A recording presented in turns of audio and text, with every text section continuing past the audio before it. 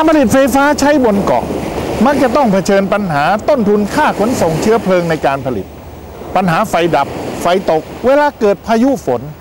และก็การขาดทุนต่อเนื่อง เวลาเดินเครื่องผลิตไฟ ไม่เว้นแม้แต่บนเกาะลิบง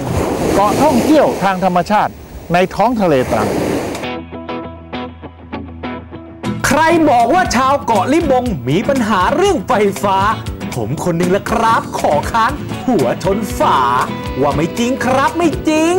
ก็ดูสิครับ อย่างบ้านนี้ก็ไม่กลัวร้อน คุณพี่คนนี้มีไฟไว้เชื่อมเหล็ก ส่วนคนนี้ครับ ก็มีทีวีไว้ดูรายการโปรดที่ช่องสาม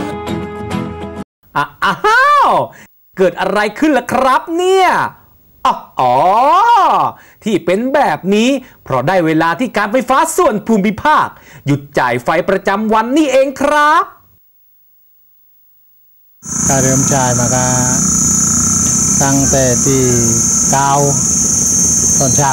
ถึงที่สิบสองแล้วก็หกโมงเย็นจนถึงแรกๆก็ถึงที่ที่สิบ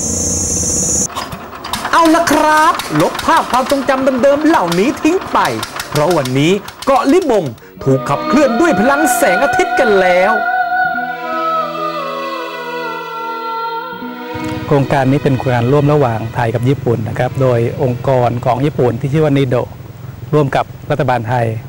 โดยมีกรมพัฒนาพลังทดแทน และอนุรักษ์พลังงานเนี่ยเป็นตัวแทนของรัฐบาล เกาะลิบงนี่คือกำลังเป็นแหล่งท่องเที่ยวใหม่ของจังหวัดตรังแต่เขาไม่ยอม เอาเทคโนโลยีใหม่ๆ ซึ่งทำให้เกิดมลภาวะเข้ามาในเกาะของเขา อันที่เช่นว่าการลากสายเคเบิลลงมา พอเราบอกว่าเราใช้ระบบโซลาร์เซลล์ผลิตพลังงานแสงอาทิตย์ ตรงเนี้ยเขาบอกว่ามันไม่ทำลายสิ่งแวดล้อม ไม่ส่งผลอะไรกับเขาเนี่ยเขาก็ยินดีที่จะเอาโครงการนี้ลงมายังเกาะของเขาครับโครงการเรานี่แยกเป็น 3 ส่วน ส่วนที่ 1 คือที่เห็นด้านหน้าเนี่ยคือเป็นระบบผลิตโซลาร์เซลล์เชื่อมโยงเครื่องตัดไฟฟ้าขนาดผลิตนี่อยู่ที่ 80 กิโลวัตต์นะครับผมส่วนที่2เนี่ย เราติดตั้งให้กับโรงเรียน 3 โรงเรียนในเกาะลิบง ซึ่งมีกำลังผลิตรวมทั้ง 3 แห่งเนี่ยประมาณ 14 กิโลวัตต์นะครับผมส่วนที่ 3เนี่ยเราใช้ระบบผลิตไฟฟ้า แล้วก็ต่อเข้ากับลายผลิตของการไฟฟ้าภูมิภาคโดยตรง ขนาดอยู่ที่ 1.1 กิโลวัตต์ กระแสไฟฟ้าที่ผลิตได้ก็จะถูกส่งเข้าไปยังการไฟฟ้าส่วนภูมิภาค เพื่อจ่ายไปยังทุกครัวเรือน ช่วยขยายเวลาการใช้ไฟฟ้าของชาวลิบง ให้เพิ่มขึ้นอีก 3 ชั่วโมง และที่สำคัญนะครับ ยังช่วยประหยัดน้ำมันเชื้อเพลิงสำหรับปั่นไฟให้กับการไฟฟ้าส่วนภูมิภาค ได้เดือนละ 3,500 ถึง 4,000 ลิตรเชียวนะครับโซลาเซลล์ที่เรียงรายเหล่านี้นะครับทำให้คุณภาพชีวิตของคนบนเกาะดีขึ้นทันตาเห็น ไม่ว่าจะเป็นด้านการศึกษา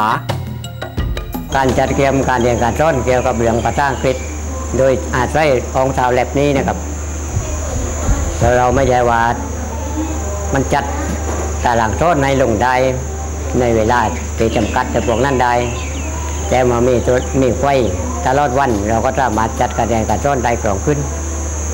สำหรับกิจกรรมอื่นเรียมการเรียนต่างไกลกล้องวังไกลกังวลกับพิ่งมาตั้งแต่มีโทรทัศน์เส้นขึ้นมา เราก็ได้จัดกิจกรรม ถ้าไปรวมแต่อักษรก็เราก็จัดได้ทุกตรง แล้วก็ได้เรียนรวมทุกชั่วโมง เมื่อมีไฟฟ้าก็ไม่ยากเกินกว่าที่หนูๆได้ฝึกฟุตฟิตฟอร์ไฟ และก็ไม่ยากเกินไป ที่น้องๆจะได้เรียนทางไกลผ่านจอทีวีแบบนี้ส่วนการท่องเที่ยวก็พลอยได้รับอานิสงส์จากโครงการนี้ไปด้วย พอเริ่มมีโซลาร์เซลล์เข้ามาก็เราสามารถเปิดใช้ไฟได้ตลอดเวลานะครับตรงนี้ก็ลดค่าใช้จ่ายได้มากเลย เมื่อชาวบ้านปฏิเสธการส่งไฟฟ้า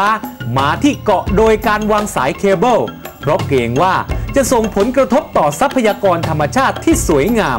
โซลาร์เซลล์จึงเป็นทางออกที่ดีที่สุด เพราะทั้งประหยัดและก็เป็นมิตรต่อสิ่งแวดล้อมไงล่ะครับ ไฟฟ้า ไม่ว่าจะมาจากน้ำมันหรือแสงอาทิตย์ ก็ล้วนแต่ได้มาด้วยความยากลำบาก ต้องใช้ต้นทุนพลังงานอย่างมหาศาล ดังนั้นผู้ใช้ไฟฟ้าจึงควรใช้อย่างรู้ค่าพลังงาน